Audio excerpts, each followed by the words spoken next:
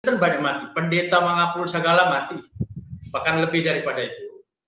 Tuhan yang dituhankan oleh Bang Rudi Yohanes itu mati. Saya bukan menghina, itu fakta. Terlepas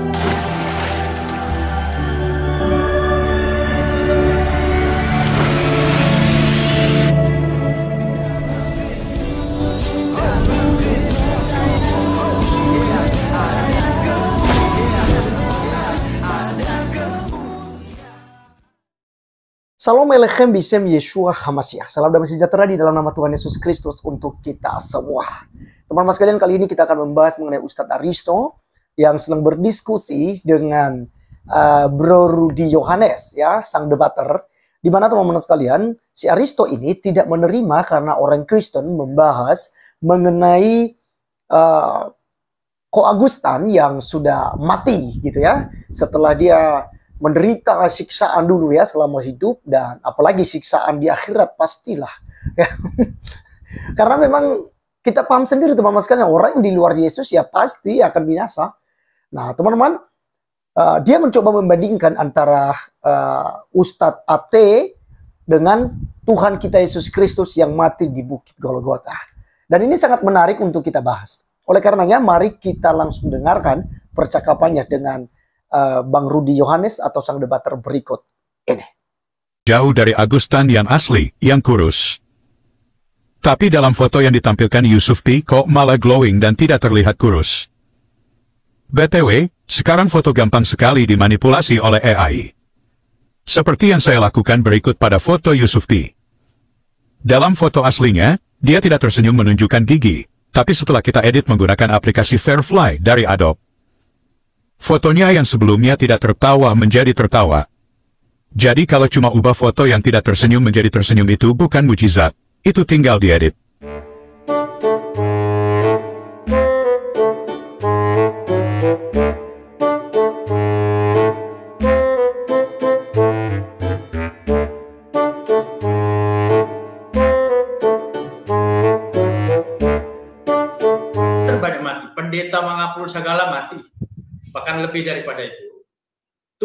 Yang dituhankan oleh Bang Rudi Yohanes itu mati. Saya bukan menghina, itu fakta. Terlepas dari iman Kristen mengatakan bahwa mati menebus dosa, ya itu silahkan. Itu saya kembalikan ke para ke iman teman-teman sahabat Kristen. Tapi faktanya, Yesus mati.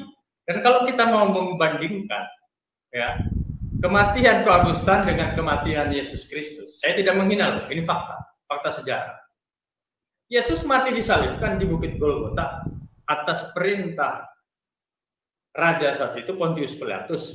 Jadi kalau kita membandingkan antara kematian Ko Augusta dengan kematian Yesus Kristus, ya mungkin sama-sama mati. Kalau kenapa kemudian sesuatu yang menurut saya yang tidak apa begitu kurang etis orang meninggal direspon secara berlebihan kan begitu wah ini adalah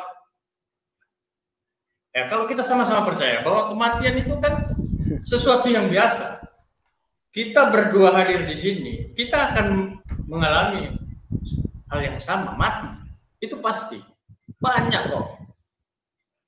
Pendeta, ya pendeta mengapul segala belum lama ini mati. Pendeta siapa banyak mati. Ya kan? Semua mati. Mati itu sesuatu yang biasa bahkan di dalam Islam, di dalam kitab suci Islam, Al-Quran, bahwa di sana ditegaskan, kullu nafsin ikatul maus, setiap yang bernyawa itu pasti mati. Dan dalam iman Islam, kematian itu sesuatu yang biasa-biasa saja. Kan gitu. Oke, okay. kawan-kawan sekalian, itulah yang kita sudah dengarkan ya dari Aristo. Di mana uh, dia katakan bukan menghina ya ketika dia katakan bahwa orang Kristen Tuhannya mati gitu. Ya, kami juga tidak menuduh Anda, Anda menghina selagi Anda mengatakannya dengan baik dan bukan bermaksud untuk menjelek-jelekan. Ketika Anda mengatakan bahwa bani kolor seperti yang dilakukan oleh almarhum ya, nah itu yang membuat kami kemudian akan mengcounter, meluruskan itu.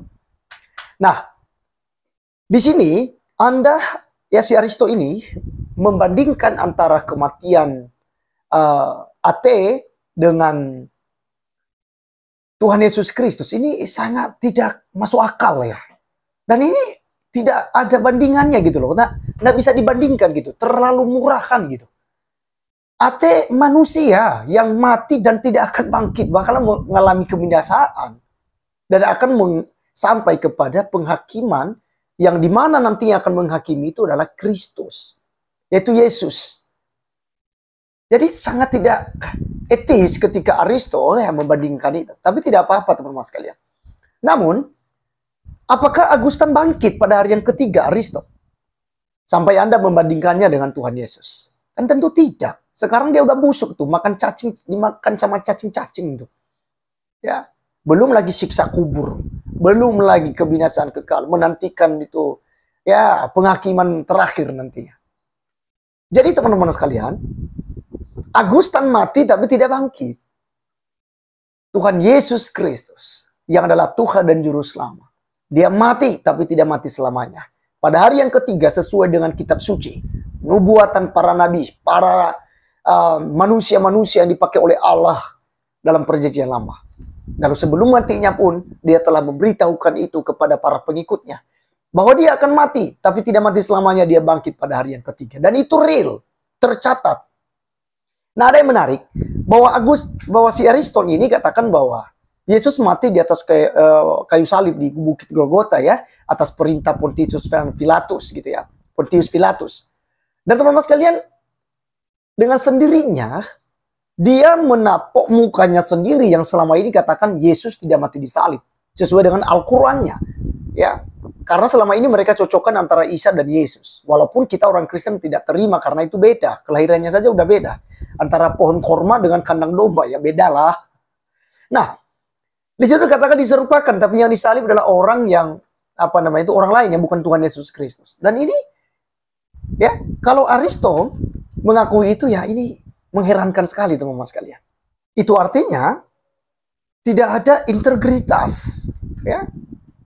Di video ini dia bilang A, di video lain dia bilang B, di video berikutnya lagi nanti minta C, D, E, F sampai Z gitu ya. Katanya kan tidak percaya bahwa Yesus itu mati di salib, tapi dikatakan juga oleh Aristo. Nah, teman-teman sekalian, ingat bahwa Yesus mati. Kalau dikatakan apakah Tuhan Anda mati gitu ya. Siapa yang bisa bunuh Tuhan? Tidak ada yang bisa bunuh Tuhan Aristo. Tapi apa dikatakan oleh Alkitab? Yang mati adalah kemanusiaannya.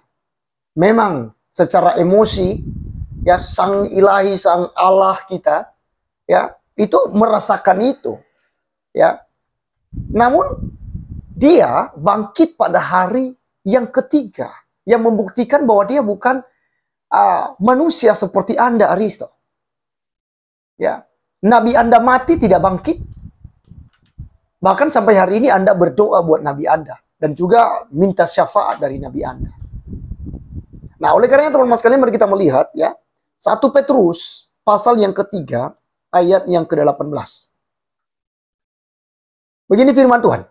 Sebab juga Kristus telah mati sekali untuk segala dosa kita. Ia yang benar untuk orang-orang yang tidak benar. Supaya ia membawa kita kepada Allah. Ia yang telah dibunuh dalam keadaannya sebagai manusia. Tetapi yang telah dibangkitkan menurut roh. Jadi Aristo, yang dibunuh, yang mati, yang disalib adalah kemanusiaannya. Bukan keilahiannya. Bukan Tuhannya mati. Siapa yang bisa bunuh Tuhan? Ya. Jadi teman-teman sekalian, apa yang disampaikan oleh Aristo ini benar-benar uh, di luar nalar. Karena dia membandingkan kematian Agustan dengan Tuhan Yesus. Ini tidak tidak etis juga. Nah, kenapa kemudian Aristo tidak terima ketika orang membahas Agustan? Bukankah Agustan ini mengajarkan hari itu?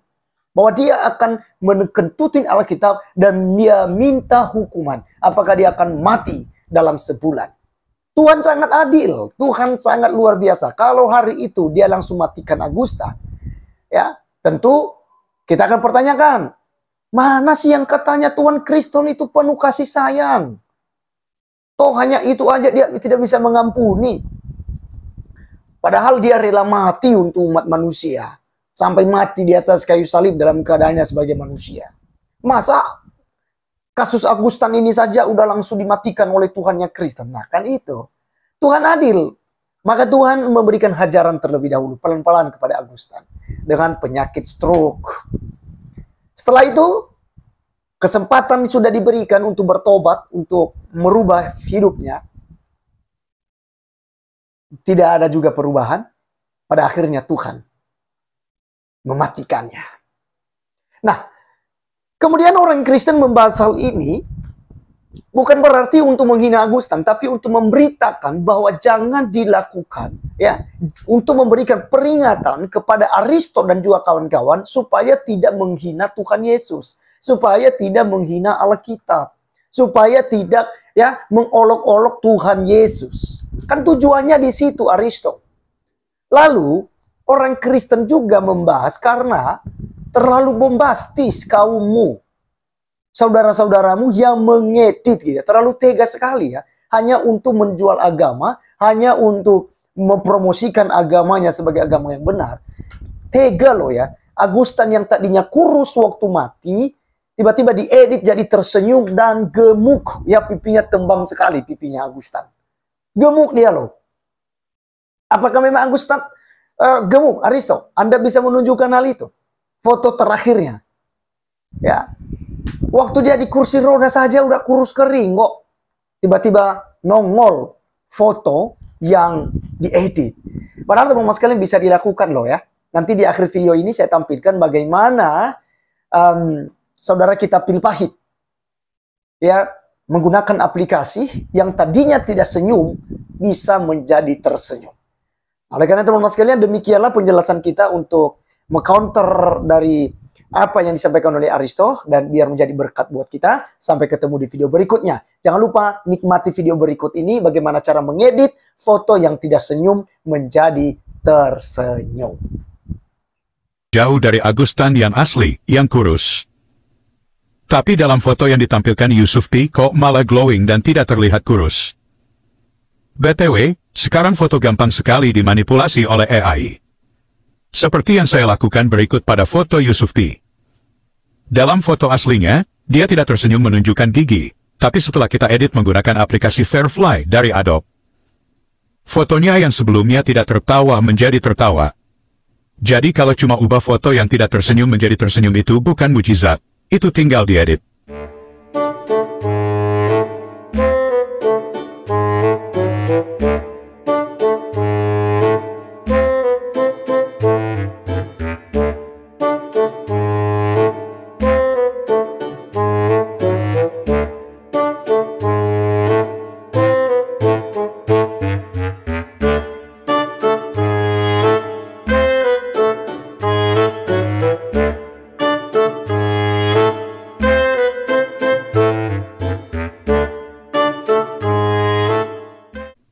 Oke teman-teman, demikian tanggapan kita terhadap pernyataan Yusuf T.